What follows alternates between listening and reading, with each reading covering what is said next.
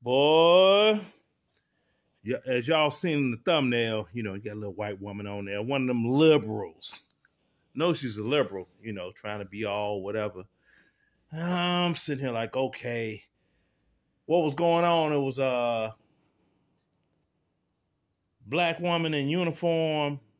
She had locks, and it was all down the back, right?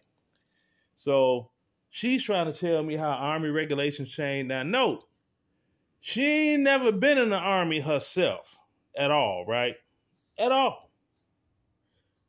And she posted up this, and I post up the regulation. It's talking about well, a ponytail can hang this far below the shoulder blades, and you know, b- below the collar, but not below the shoulder blades. I'm like ponytail, right? Locks. There's no pony locks. There's no pony dreadlocks.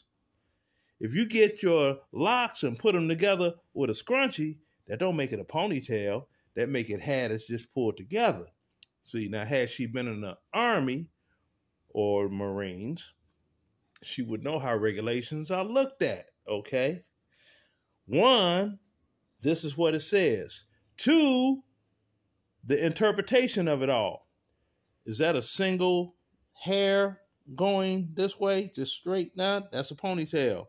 No, those are individual doggone braids locks, or whatever that are grouped up together, that's not a ponytail. Ponytail is singular. One strand of hair, be it braided or worn straight or whatever. Okay. Then she get to talking about, well, the the the blacks that she got in her family. You must not be a real African American. I'm like, no, I'm not African American. I'm foundational Black American. Okay. Obama, fruit booty ass, is an African American. Daddy African. Mama was a liberal. She was getting that soul pole, just like this Ann chick, you know. And thought, okay, that gets them a doggone all access pass to the cookout. No, Karen, it doesn't. So you got that going on.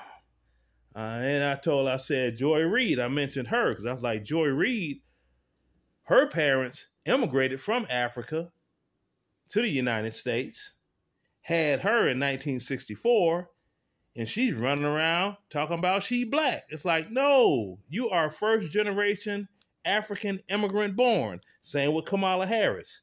She is not black. Her father is Jamaican. Her mother is Indian, the Bali, Bali, Bali of some sort, that don't constitute black American just because you was born here, see.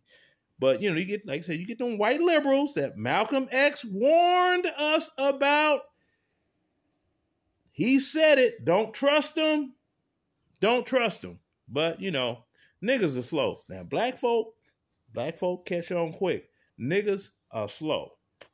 So talk about you're not real African American. I'm like, no, I'm not African American. I'm black American. I've always been black American, foundational black American. Way back, trace my family all the way back to before the doggone Revolutionary War, west of the Mississippi. Okay, speaking of west of the Mississippi, she's been married about a year.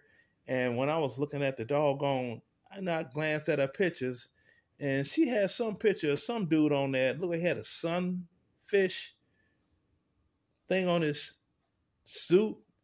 He don't look safe around children. I was like, who the hell is that? He don't look safe around children. Then her husband, I'm like, oh my God. That dude looked like he can't wait for crocodile season, crocodile hunting season to go down in Florida or Louisiana. I mean, look straight back, swamp, river, backwoods living. That's what it is. So I just sitting here like, either he rich or she just a desperate motherfucker. Cause I'm like, ain't no way in hell. And I know a number of white women, a number of white women, they'd be like, I did.